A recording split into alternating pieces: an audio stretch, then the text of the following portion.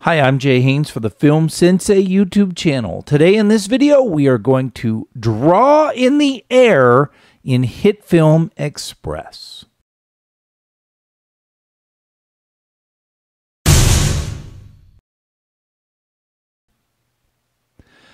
All right, so I am working in HitFilm Express version 5, and as long as you have the newest version of HitFilm Express, then you will be able to do this as well. It is a free piece of software, so no worries there. What I'm going to do is I'm going to right click on this, and I am going to make a composite shot out of my raw footage, clicking OK, and I'm just going to rename my composite shot Draw in the Air. Okay. The first thing we're going to need to do is we're going to need to figure out where I start actually drawing. So about maybe right there. And I'm just going to create a new point layer, okay? And this will be the J, so I'm just going to call that point J. And then I'm going to go until the end, about right there or so. And I'm just going to slice off that point and then delete the rest of it. So that way I sort of have an idea of where my point is going to be. Now all I have to do is just, I'm going to use the slider here to just get, come in a little closer. I just need to start here and all I'm going to do is just track where my pen is. Okay, so I'm going to open up my raw footage and under tracks, I'm going to hit the plus icon. This tracker, I'm going to call J because it will be the J tracker. And I'm going to, using my mouse wheel, zoom in here a little bit and just put that on the tip of the pen. And then I'm just going to track this, okay? And I'm going to do this uh, one at a time because I want to make sure that I actually am, in fact, getting a good track on it because when it gets a little bit blurry, I've noticed that it kind of loses itself and it's not as good as I had hoped it was going to be. Wah! See? And so I just sort of track this one point at a time. The good news is is it's not that hard. But if I have a background like those dogs in that picture back there, then it can really throw the track off. So you just want to take your time and make sure you do this right and get a good track. Okay? And I'm going to skip through this and then I'll be back.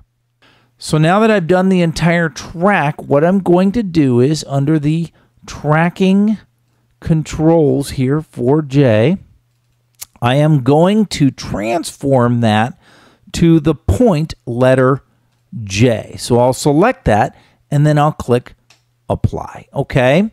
So now if you go back to the viewer layer, you can see that that point is going to follow my um, pen all the way. And that's what I want. I want that where that point or that the point here knows exactly where it needs to be to draw that letter. Okay.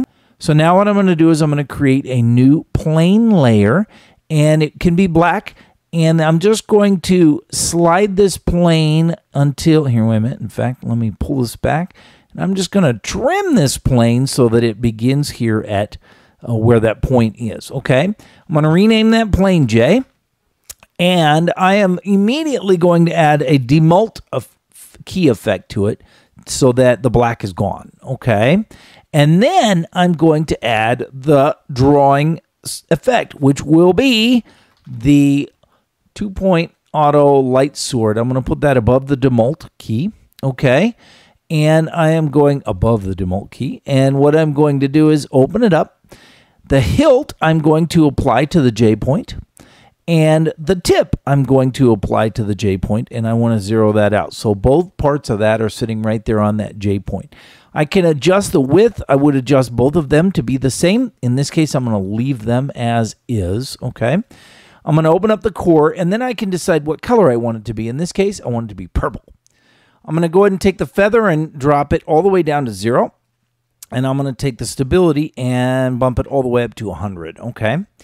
As far as the inner glow, if you want to have a like a glow on that, you certainly can. I didn't, so I just dropped it down to zero. Okay. So now we have this dot that follows my pen, right? And it looks really cool. But the problem is, is that it's not staying there. It's not leaving. So here is where we get that to happen. First thing you want to do is you want to open up the auto scale persistence and unclick that. And then the motion persistence is basically like a motion blur. It tells you how long we want that to be on the screen. And if I kind of start cranking that up, then it will be on there longer and longer. And how long do I want it to be on? A long time. So I'm just going to push this up into the 500s there or 600s. So that way it will stay there for the entire effect, you see. So now I have this situation where I draw the J just like that. And then I draw the A and I draw the Y. And I'm going to do the exact same thing for the A and for the Y. As you can see, I went ahead and changed the color of the A and the Y. But again, I want to point out that it's very important to realize that if you want to have like a glow around your, you know, whatever, you can do that. It's all up to you, right? However you feel like, whatever colors you want to use, width, sizes, etc., and so on. It's actually pretty easy to do using the Light Sword two-point auto effect. So that's pretty much it in a nutshell. If you have any questions or feedback, drop them in the comments below. Otherwise, thanks for watching.